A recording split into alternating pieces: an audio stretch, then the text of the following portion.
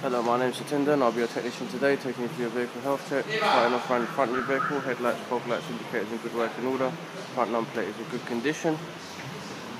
Coming around to your offside front tyre, we've got about 3.3 millimeters of tread in this tyre, no cuts to the sidewall, exposing any cords. Front discs in good condition, front pads also in good condition, they're all marked up in green in your vehicle health check. All trims and mouldings on this side of the vehicle in good condition, nothing loose or removed. Coming to your offside rear tyre, we've got 4.1mm of tread in this tyre, no cuts to the sidewall, exposing any cords. Rear discs in good condition, rear pads also in good condition. Around the rear of the vehicle, rear lights in good working order. Rear wiper blade does require a replacement.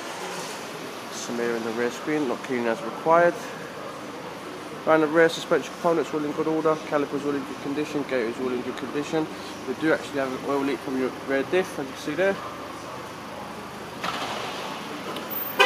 Your near side rear tyre, got 4.1 millimeters tread in this car, no cuts the sidewall closing in cords. All trims and mouldings on the trims on this side of the vehicle in good condition. Coming to the near side front tyre, we've got 2.9 millimeters tread in this tyre, no cuts to the sidewalls exposing any cords. Front discs and pads both in good condition, that's all in green in your vehicle health check.